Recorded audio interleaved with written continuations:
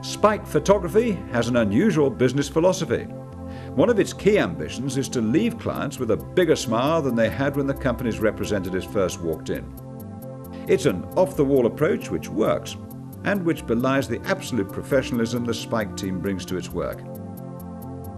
Founder Paul Reddington included a stint as an Evening Post photographer before taking the decision to start his own company in 1991.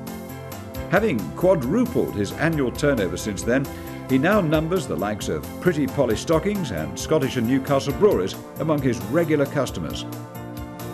Though still principally concerned with creating images on film, the company is also firmly into high tech image manipulation and website production.